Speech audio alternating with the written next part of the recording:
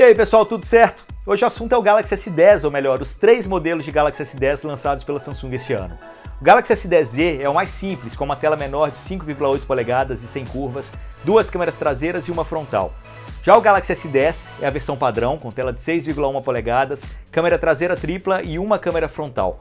E o Galaxy S10 Plus é o mais parrudo, com tela de 6,4 polegadas e até 1 TB de armazenamento. A câmera traseira é tripla e a frontal é dupla, são só esses dois buraquinhos aqui na tela. E hoje eu vou contar para vocês por que você deve levar um desses para casa.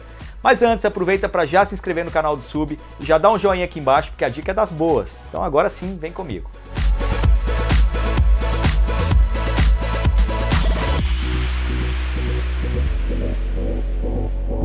Tá aí um smartphone realmente bonitão. Todas as versões vêm com esse furinho na tela para abrigar a câmera, o que faz com que tenhamos mais display para exibir as informações. É mais tela com o corpo do mesmo tamanho do S9 do ano passado. Outra coisa legal é que tem surgido vários papéis de parede brincando com esse recorte da câmera, muito legal. Completando, temos vidro na traseira misturado com metal e ele ainda é mais leve e mais fino do que os do ano passado, mesmo trazendo mais recursos. Que tela é essa, hein? O contraste é ótimo, as cores são vivas e o brilho também é bom o suficiente para você enxergar tudo, mesmo debaixo do sol forte.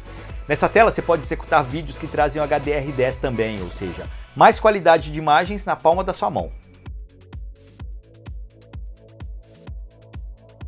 Tá aí um dos melhores conjuntos de câmeras lançados em smartphones até o momento. Tanto o S10 quanto o S10 Plus trazem três câmeras traseiras, uma principal, uma grande angular e uma teleobjetiva. Você pode tirar fotos com ótima qualidade em diferentes tipos de iluminação.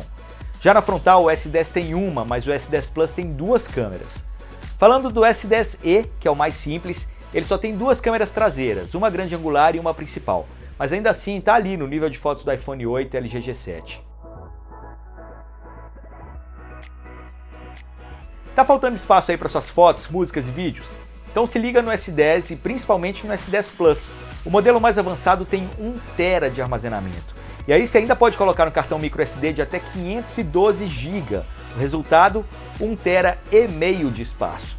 Tá bom para você o que mais? E aí, sabe como desbloquear esse aparelho? A resposta está por baixo da tela.